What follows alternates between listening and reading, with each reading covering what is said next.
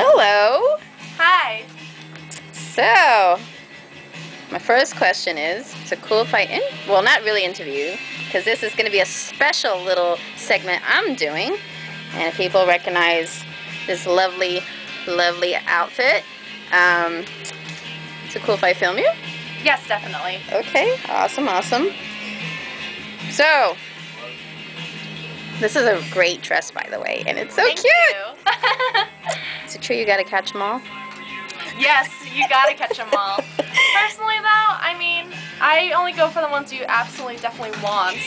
I don't think that there's power in commodifying everything and uh, accumulating everything that you that just for the sake of accumulating. If you just get the stuff that you want or that's necessary for your, you know, desires and needs, I think you progress and become the very best. um, so this this dress, um, I'm actually pretty stoked that technically I I think I'm the first video like interviewer for your dress. It's a, like, Yeah, it's definitely the first video documentation of this dress.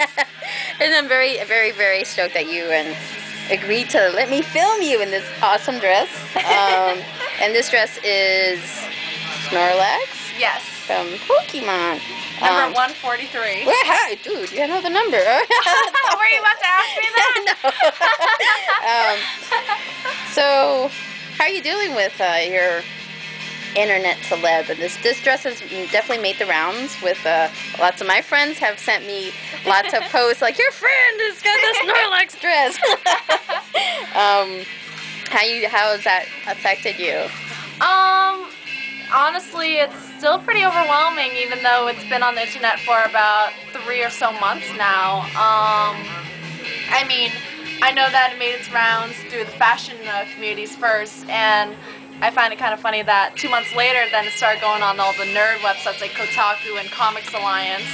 But I'm actually pretty thrilled. Um, I mean, it's really great to know that people are responding pretty uh, positively towards it for the most part, and the people who aren't responding positively are just mad hating. It's actually pretty funny because I mean, like whatever. I can't. No way. I.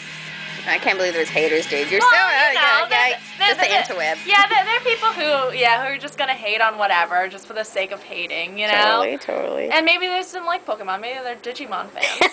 you know.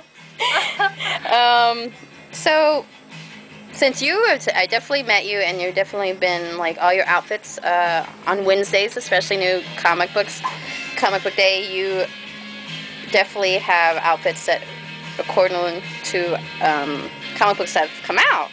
Um, is there any? I know right now everybody's talking about the new Jim Lee Wonder Woman that Yes. came out. Uh-huh. um, well, real quick, uh, is there any, other than Wonder Woman, is there any villains or superheroes that you would do a makeover or anything that you really dig? Um, well, I've always, I've always based most of my outfits for a long time around um, characters from Batman. To be honest, um, I feel, I feel like of all the comic books out there, the palette that they use for every single character in that, uh, whether they're rogues or um, heroes, I really like what they do with every one of their looks for the most part. They have a great like variety for one, and I think that they play a lot with aesthetics and how they relate to their psychoses and you know their themes and I think that that uh, makes it all the more fun to for someone like me who's very creative and a designer to enjoy and I think that that definitely played a big part in my involvement in fashion growing up and art and all that. Cool. And for all people that are watching this and who are curious how she made this dress, if you go to Um, yeah, if you go to my DeviantArt um, account, you guys can um, find my Snorlax dress, and I list off um, some very brief tips of how to make it. And if you have any trouble, just feel free to message me, and I'll I'll help you out as much as I can. Awesome, awesome. And and my other curious question is, this year, um, you are planning on going to the Holy Grail. Yes. Um, Nerd prom. yeah, a nerd for yeah, that's awesome. Um, other than comic book artists and seeing like um, sneak peeks of comic books and toys, uh, is there any other cosplay, co- cosplay, cosplay players or um, costume designers that you are looking to forward to seeing? Um, definitely. At San Diego Comic Con, I really hope to um, run into some of my favorite bloggers like the Nerdy Bird, um, who does this great blog called um, Has Boobs Read, Reads Comics. Um, awesome. And uh, also, uh, I, I, love Ruby Rocket, who uh, Lulu yeah, Bonanza told me about, and I absolutely adore her. And I haven't actually heard any updates on her, but I really hope that she's there as well. Um, but for the most part, I'm really um, excited to run into um, a lot of people at the Geek Girls uh, party uh, on Friday night because there's going to be a ton of uh, female lady geeks, and I uh, it's always fun to meet other girl nerds and see what they're wearing, you know? Because yeah. I think that there is a definitely a surgence lately of um, or resurgence. I don't I don't think surgence is the word, but a resurgence of uh, of lady nerds who are really into fashion and comics, and I think that's a really great uh, thing to bond over and a great community community to yeah yeah to thrive on, especially for girls nowadays. You know. Is there any uh, speaking of girls in comics? Um, what was the first comic book that you read ever?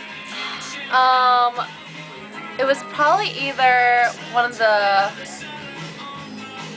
Oh, let me think. I'm trying to remember. It was probably one of the Batman archives, um, or one of the compilations of the old 1940s Batman uh, um, comics. Do you have? But I it? also, sorry, but I also, I also remember reading um, Ranma One Half. Oh, um, Ranma. Yeah, back when, uh, back when I was maybe in uh, the fifth grade, which is kind of a young age to read it, but I, I, I adored that. Um, but yeah, I would read um, Ranma and Batman for the most part.